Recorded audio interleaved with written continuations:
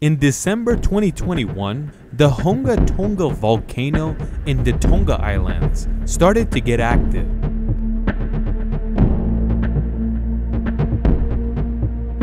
It settles down a little bit until we get to January 14th, 2022, and it starts to get active again.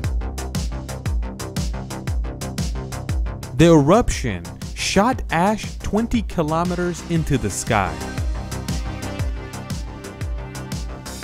The ash that was launched towards space surprised everybody around, but they didn't know that this is just the beginning. The next day, this happened. The video you're seeing right here, don't think that it's from a helicopter or a drone, because if anything like that was close to this explosion, it would be long gone. This footage was taken by a satellite. When this explosion happened, it got the nickname the biggest explosion in Earth's history. An explosion that people had not experienced before. The biggest man-made bomb we ever tested was the Tsar Bomba, and that was 50 megatons. Experts estimate that this bomb had 100 to 200 megatons of power, but they don't know the exact amount. If this explosion happened in Europe, this is how big it would be. The diameter is bigger than Switzerland.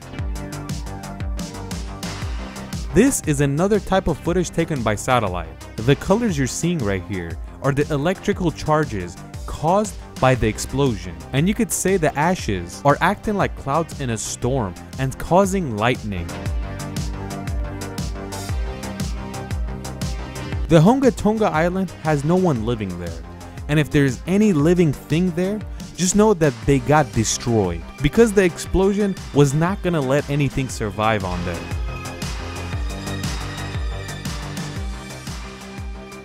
But what about the people around, like the tiny island around there? As you know, Tonga is a country and it has a population of 100,000 people. Just like we said, nobody lives on Hunga Tonga Island. But the islands surrounding the volcano suffered drastically. This is the city before the explosion, and this is after. Ash is everywhere. They told everyone to stay indoors and not breathe the ash in, because breathing in the ash could be extremely toxic and dangerous for you. What the explosion did was very bad for the surrounding islands, especially the fresh water. Since the fresh water reservoirs were open, they were filled with ash.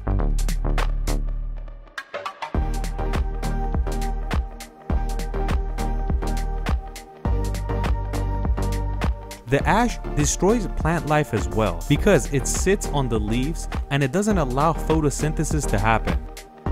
In the long run, the ash acts like a fertilizer for the dirt, so it's good, but not if it kills all the plants. But the thing is, it's better for the ash to sit on the ground instead of staying in the air. Because if it stays in the rain, it causes acid rain, and that's because it has sulfuric acid in it.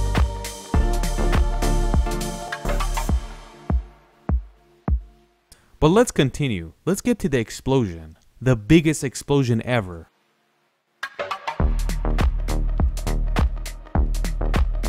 The footage you're seeing came from a satellite, and the wave was caused by the explosion.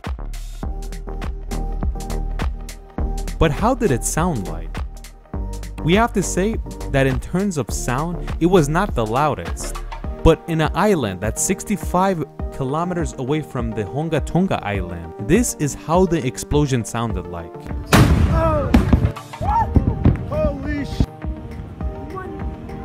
The sound wave of the explosion went around Earth four times. That's how powerful it was. You could say the entire population sort of felt this explosion, but if they knew where it's coming from. Like in the US, this is how the sound wave passed. The red dots are the explosion noise. In Japan, it passed like this. It's good to know that nobody heard it, but the satellites did pick up the sounds. The farthest place from Tonga that actually heard an explosion is the eastern part of Australia. If this explosion was inside the water, it would cause insane tsunamis.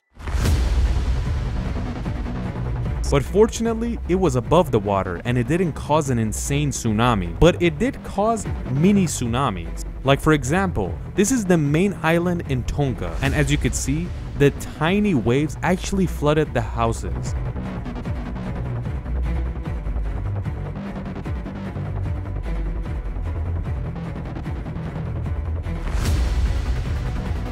But what happened to the actual island itself? The island that had the volcano and it exploded.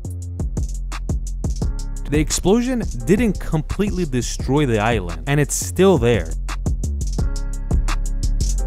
But it's good to know that NASA and other scientists realized that this type of volcano is very similar to the volcanoes you find on Mars. And that's why scientists got together to work on this project and see what they can learn from this volcano so they can learn more about Mars. With the help of this volcano, we can figure out if there was ocean on Mars or not. This is the place that it exploded, and as you can see, it's clean because in a few months, all the ash that was sitting here was washed away by rain, storm, and ocean waves. And obviously, it all went inside the ocean. When some people see this spot, they say there's no way this place can explode like that. It's a nice spot for a picnic, but they don't know that this little pond of water that's sitting here is connected to the core of the earth. And 8 months ago, it caused the biggest explosion in history.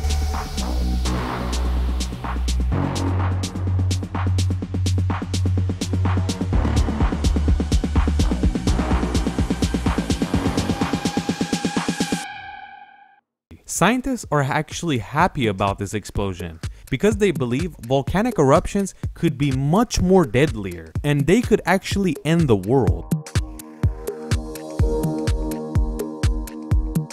But this explosion released some pressure off of Earth and basically delayed some other explosion. And it kinda showed people that who's boss.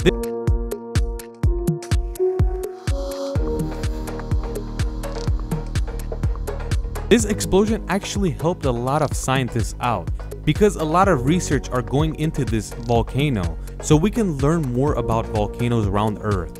And we could learn so much that we can actually control these ticking time bombs. If you've seen our video about Yellowstone, you know it's one of the most deadliest volcanoes on Earth. It's always active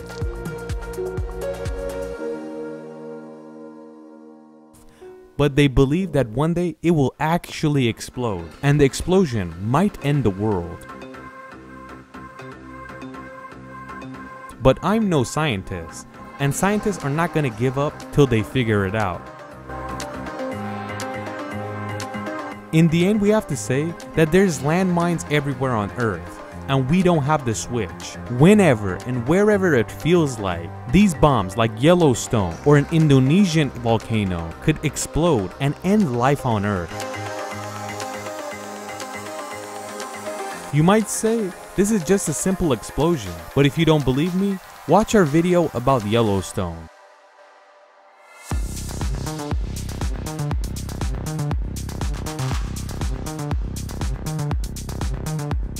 We'll be right